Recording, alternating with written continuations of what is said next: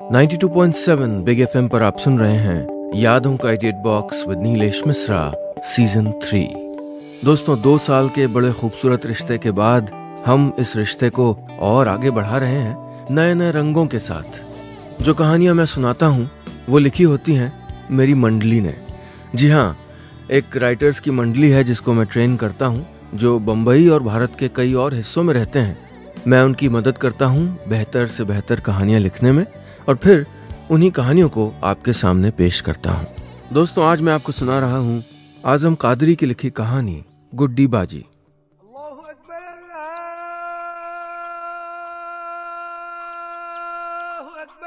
नूर के मामू के घर में अजान होते ही कोई और उठे ना उठे लेकिन दो लोग ज़रूर उठ जाते थे नाना अब्बा और हमारी गुड्डी बाजी सबसे पहले वो नाना अब्बा के वज़ू के लिए बुरादे की सिगड़ी पे पानी गर्म करती फिर बड़े से फनल में चाय का पानी उसी सिगड़ी पे रख के नमाज़ पढ़ने बैठ जाती।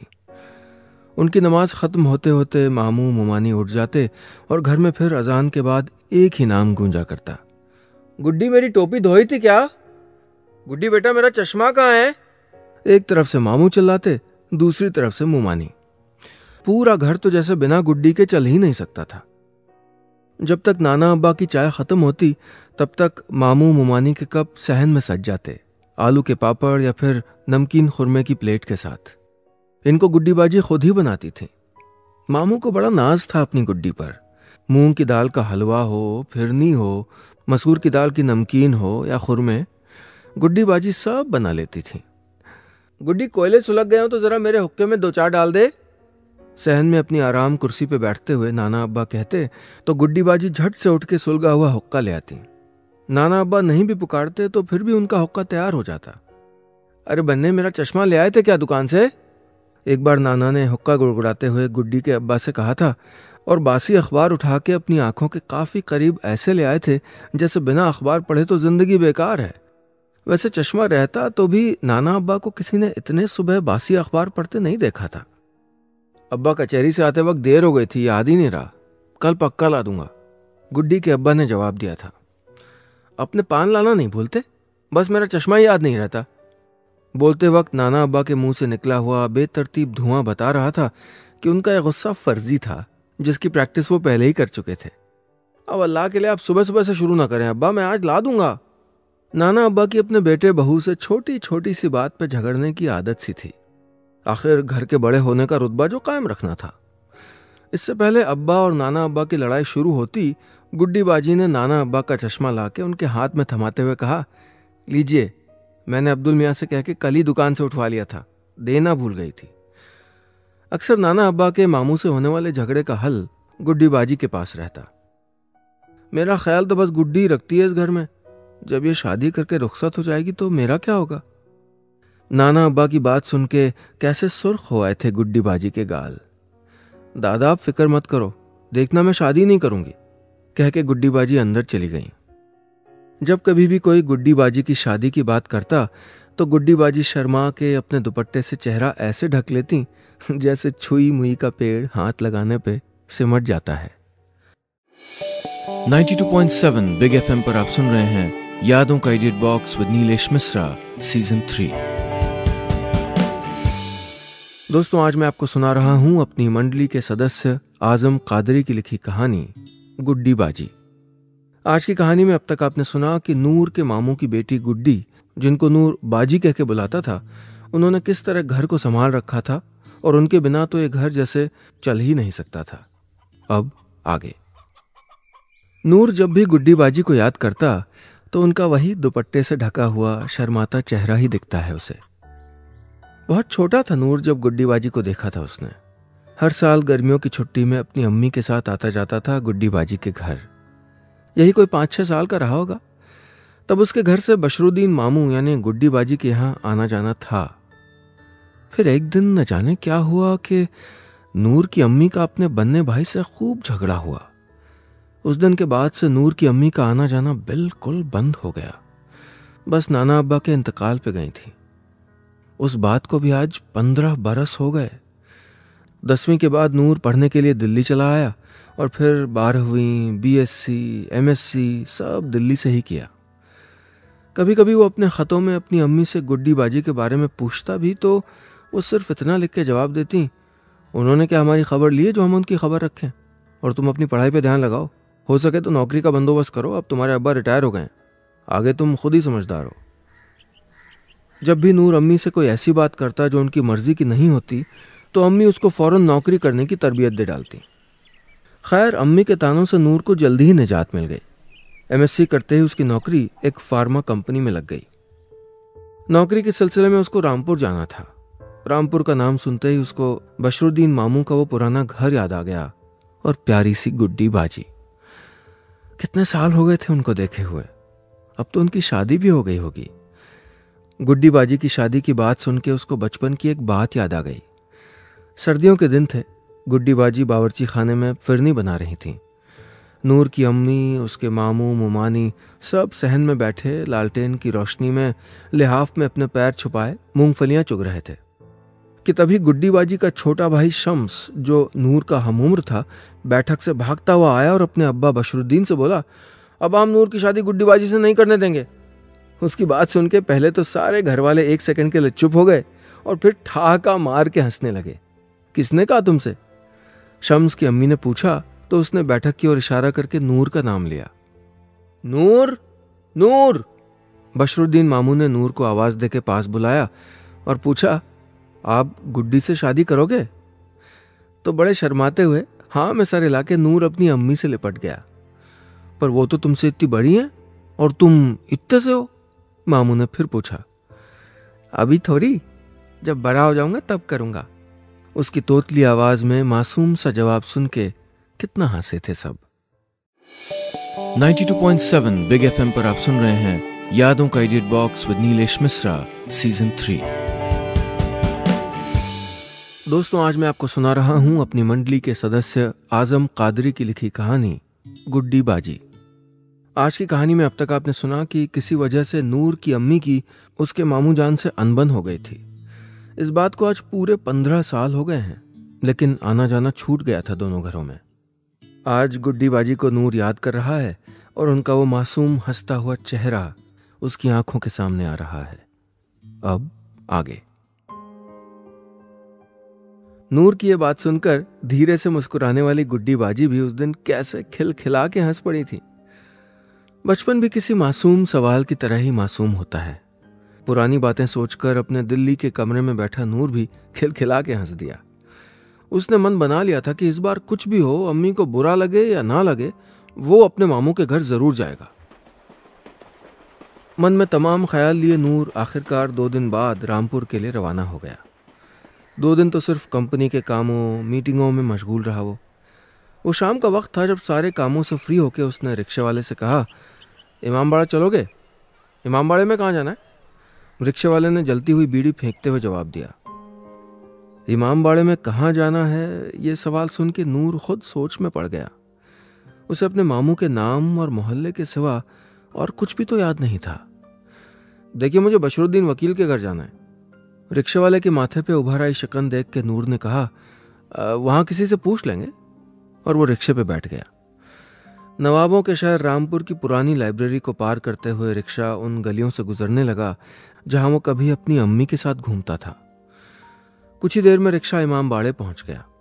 काफ़ी पूछने पाछने के बाद आखिरकार उसे अपने मामू का घर मिल ही गया। वही दर, वही दीवार, कुछ खास तो नहीं बदला था मामू का घर। मेहराबों वाली छत, सीमेंट की जाली वाले छज्जे। एक मिनट तो वो खाली उन जाली वाले छज्जों को देखता रहा, जिन पे बरसात के बाद की सूखी हुई काई जमी थी। उसे लगा जैसे अभी उन जालियों के पीछे से गुड्डीबाजी की दो आँखें झांकेंगी और अठन्नी फेंक देंगी। और नूर, वो भाग के गली के पास वाली दुकान में पन्नी में बंद खट्टी मीठी इमलियाँ लाके वापस छज्जे में फेंक देगा, वैसे ही जैसे बचपन में फेंका करता था। खैर, रिक्शे वाले को पैसे देके नूर ने थोड़ा हिचकिचाते हुए दरवाजे पे लटक रही जंजीर नुमा कुंडी खटखटा दी। थोड़ी देर बाद दरवाज़ा खुला तो नूर ने देखा सामने गुड्डी बाजी ही थी। वही लंबी नाक, दूध सा सफ़ेद रंग, वही बड़ी बड़ी आँखें जो सुरमा लगा के और भी बड़ी लगती थी। बाजी, मैं नूर, पहचाना? नूर की आवाज़ में कितनी खनक थी।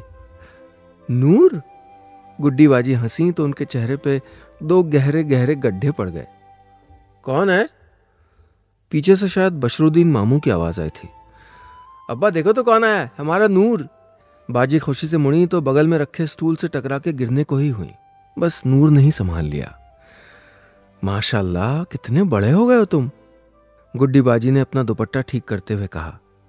नूर ने देखा गुड्डी बाजी की आँखों में आँसू भर आए थे। पूरे पंद्रह सालों बाद देखा था नूर ने अपनी गुड्डी बाजी को 92.7 बिग एफएम पर आप सुन रहे हैं यादों का idiot box with Neelesh Misra season three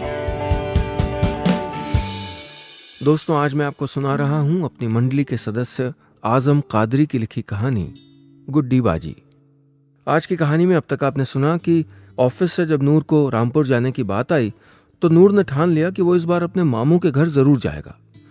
पूरे पंद्रह साल बाद कितना हिचकिचाते हुए नूर ने मामू के घर का दरवाज़ा खटखटाया और सामने खड़ी अपनी प्यारी गुड्डी बाजी को देख के उसके जज्बात आँखों में छलक आए। अब आगे। सहन में नाना अब्बा की आराम कुर्सी पर बैठे अपने मामू को जब नूर ने देखा तो लगा जैसे नाना अब्बा का ही अक्स हो। मामू जान की दाढ़ी पास में रखा हुक्का जिसको नाना अब्बा पिया करते थे वही खंबे और तमाम ताकों वाला सहन वक्त कब से ठहरा हुआ था यहाँ? सिर्फ़ दिन रात गुजर गए थे कहीं पीछे। नूरे, कह के मामू जान ने कितनी देर सीने से लगाए रखा था उसको। इतने दिनों बाद याद आई अपने मामू की? नमाज़ पढ़ रही मुमानी यानी गुड्डी बाजी की अम्मी ने सलाम फेरते ही कहा। इस बात का जवाब कहाँ था नूर के पास? वो खामोशी रहा, बल्कि गुड्डी बाजी ने ही बीच में बात को संभालते हुए कहा एक तो वो इतने सालों बाद घर आया और आप लोग बैठ गए गड़े मुर्दे उखाड़ने। अरे उसको दो घड़ी सांस लेने दो, अम्मी। तुम बैठो नूर, मैं चाय बना के लाती हूँ। कह के गुड्डी बाजी बावर्ची खाने में चली गई। नूर अपने बशरुद्दीन मामू से बात करने लगा। वो ऑफ़िस के काम से आया था। सोचा आप लोगों से मिलता हुआ चलूँ। अच्छा किया बेटा। वरना तुम्हारी अम्मी ने तो ऐसा मुँह मोड़ा कि फिर दोबारा देखना तक गवारा नहीं समझा। एक आह भरी आवाज़ में मामू ने कहा, और फिर दीवार पे खाली जगह को इस तरह देखते रहे, जैसे बीते वक्त के ढेर में कोई तिनका दिख गया हो। इससे पहले मामू, मुमानी कोई और बात छेड़ते, गुड्डीबाजी चाय और नमकीन खुरमे लेके आ गईं। नवंबर का महीना था। ठंड का सुरमईपन शाम होते होते छा जाता है रामपुर में। चाय का एक घूंट कितना अच्छा लगा था नूर को। नमकीन खुरमे का एक टुकड़ा मुँह में डालते ही जाने पहचाने स्वाद की खुशबू हो आई। कम वक्त इतने सालों में खुरमे का स्वाद भी नहीं बदला। बाजी, आपके हाथ की फिरनी अभी भी मुझको याद है? चाय पीते हुए नूर ने कहा।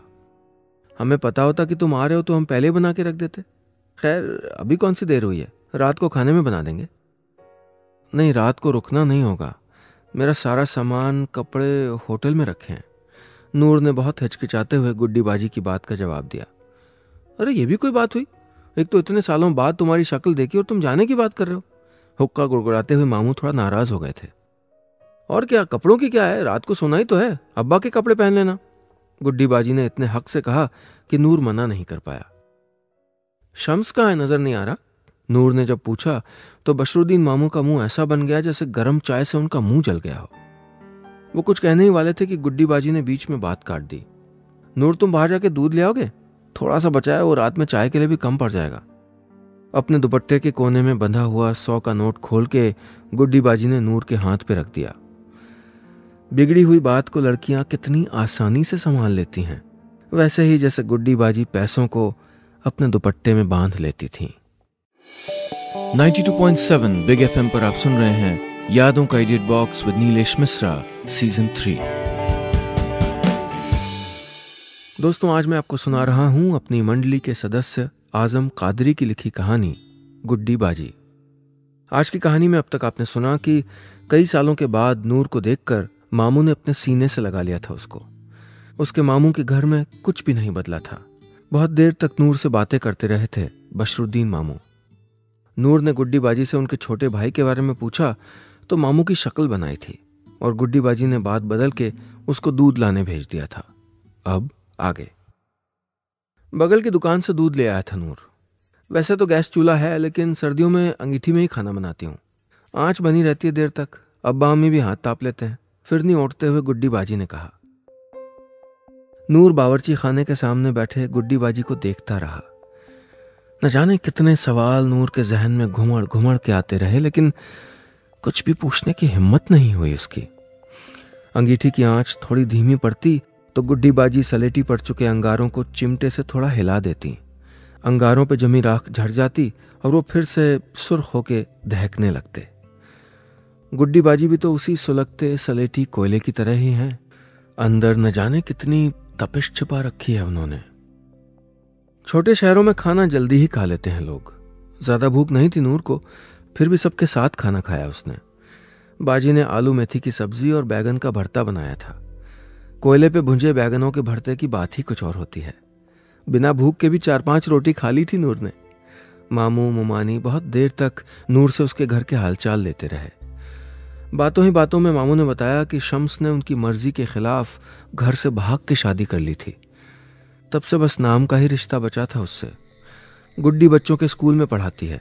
सारा घर उसके ही कंधों पर टिका है। गली में झिंगुरों का शोर तेज हो गया था। अच्छा चलो बेटा, मुझे तो नींद आ रही है। कल सुबह मुलाकात करते हैं। कह के मामू मोमानी के साथ अपने कमरे में चले गए। नूर को अब्बा का कुर्ता पजामा दे के गुड्डी बाजी आँगन में बर्तन साफ़ करने बैठ गईं। बर्तन धोते वक्त उनके होंठ ऐसे हिल रहे थे जैसे कुछ गुनगुना रही हों। वो पहले भी ऐसे ही गुनगुना लेती थी, बिना आवाज़ के। क्या गुनगुनाती थी, किसी को नहीं पता। एक बार बचपन में नूर ने पूछा था, बाजी, अब क्या गाती हो? नोहा। बाजी ने जवाब दिया था। वो क्या होता है? गम का नगमा। तब तो नूर को गम का मतलब भी नहीं पता था। गुसल खाने से नूर जब कपड़े बदल के आया तो ढीले कुर्ते पैजामे में उसको देख के कैसे खिलखिला के हंस पड़ी थी गुड्डी बाजी। तुम तो गोलमाल के अमोल पाले कर लग रहे हो। अपने मुँह में दुपट्टा ठूंस लिया था उन्होंने। एक बार नज़र अपने ऊपर डाल के खुद भी हंसा था नूर। चाय बना दो तुम्हारे लिए? धुले हुए बर्तनों को बावर्ची खाने में ले जाते हुए गुड्डी बाजी ने पूछा। लाइए बाजी, मैं बनाता हूँ। आप आराम से बैठो ना। तुम गुड्डी बाजी की आवाज़ में शुभा था। अरे, हॉस्टल में दो ही तो चीज़ सीखी है, चाय बनाना और रातों को जागना। कहते हुए नूर ने चाय का फनल उठा लिया। बाजी, याद है रात में हम छत पर सोते थे और आप हमको परियों की कहानियाँ सुनाती थी?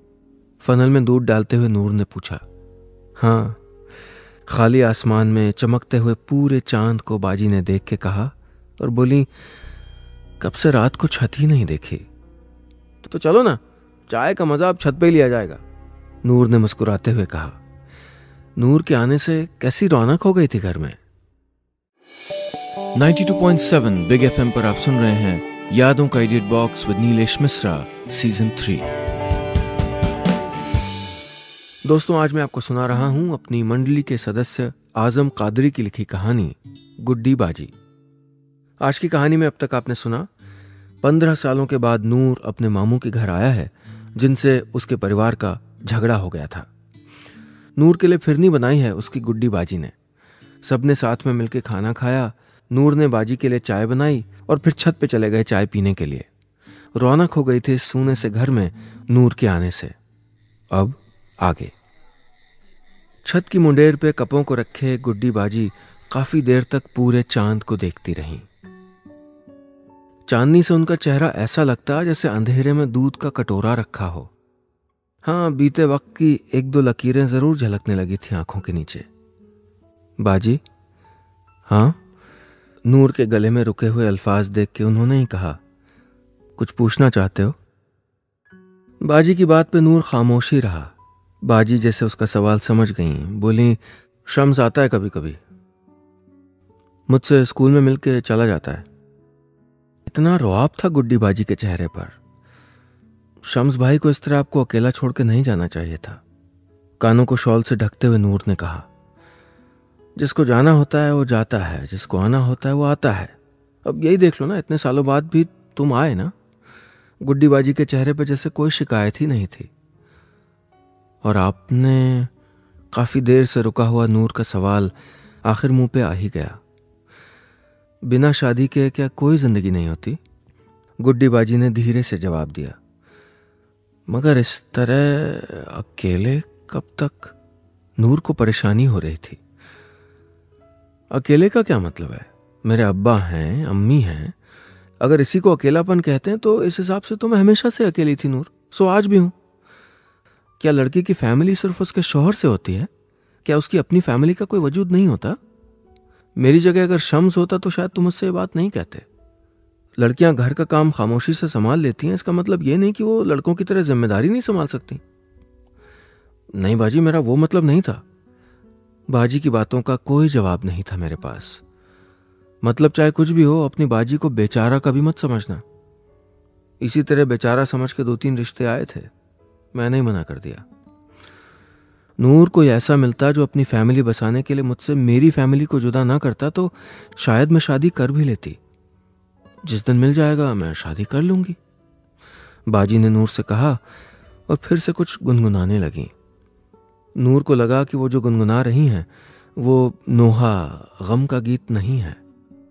बल्कि एक ऐसा गीत है जो लोग समझना नहीं चाहते। वो फखर का गीत है, गुड्डी बाजी की तरह।